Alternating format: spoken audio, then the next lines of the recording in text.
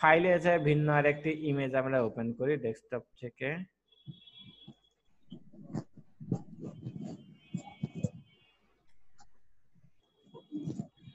বাংলাদেশের এই মানচিত্রটা হতে পারে।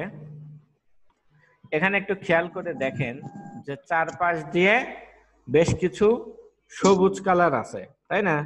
আমাদের আজকের এটা একটা প্রজেক্ট কাজ আমি আপনাদেরকে এই মুহূর্তে দিচ্ছি। সেটা হচ্ছে কি যে এই যে সবুজ কালার আছে, এই সবুজ কালারটাকে সিলেক্ট করে এই জায়গাটাতে অন্য আর একটি কালার দেয়া। কীভাবে? আমি কাজটা দেখাই দিচ্ছি। এটা তো আমি ম্যাজিক ওয়ান টুল ব্যবহার করেও করতে পারি কুইক সিলেকশন টুল ব্যবহার করেও করতে পারি। কুইক সিলেকশন টুলের সুবিধা হচ্ছে জাস্ট খালি ক্লিক করে দেওয়া লাগবে।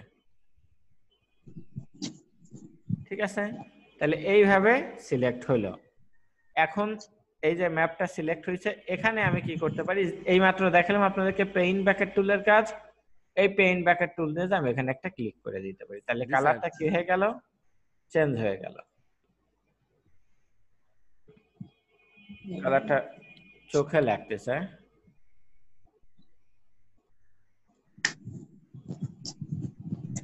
এই জাতীয় কালার এখানে আছে। ঠিক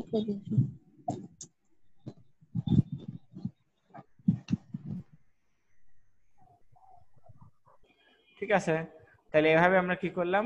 এই আউটসাইড কালারটা চেঞ্জ করে দিলাম। কন্ট্রোল শিফট এস দিয়ে।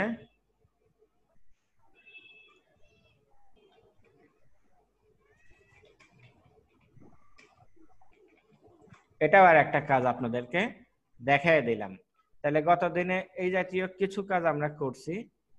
আজকে আমরা যেটা দেখব যে ফোরগ্রাউন্ড কালার এবং ব্যাকগ্রাউন্ড কালার কি এবং এদের মধ্যে পার্থক্য কি? ফোরগ্রাউন্ড কালার যেটা, সেটা হচ্ছে আপনি কলম দিয়ে লিখবেন। কি কালারের লিখবেন? সেটা হচ্ছে ফোরগ্রাউন্ড কালার আর ব্যাকগ্রাউন্ড কালার কি? পৃষ্ঠার কালারটা কি কালারে থাকবে? সেটা হচ্ছে ব্যাকগ্রাউন্ড কালার আমার কথাটা কি আপনারা বুঝতে পেরেছেন? জি স্যার। জি স্যার। ফোরগ্রাউন্ড কালার বাম পাশে খেয়াল করেন দুইটা কালার আছে। দুইটা কালার আছে না? জি। রেড কালারটা হচ্ছে ব্যাকগ্রাউন্ড কালার আর উপরে কালারটা হচ্ছে ফোরগ্রাউন্ড কালার রেড কালারটা হচ্ছে কি?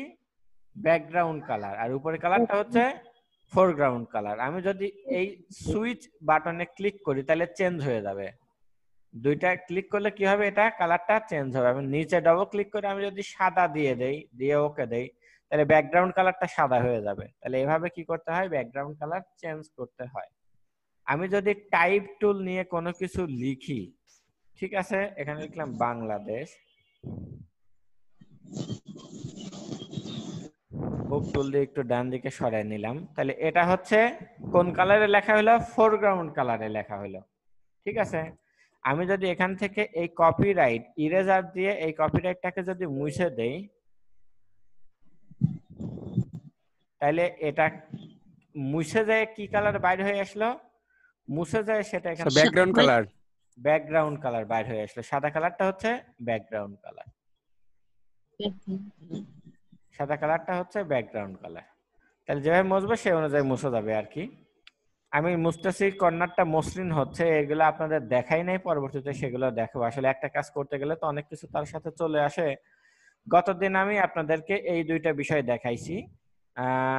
তার পাশাপাশি ম্যাজিক ওয়ান টুল ব্যবহার দেখাইছি, যেটা শর্টকাট কমান্ড হচ্ছে এম না, যেটা শর্টকাট কমান্ড হচ্ছে ডাব্লু শিফট ডাব্লু চাপতে হবে, তাহলে magic wand tool magic wand tool দিয়ে যেখানে ক্লিক করবে, সেখানে কি হবে?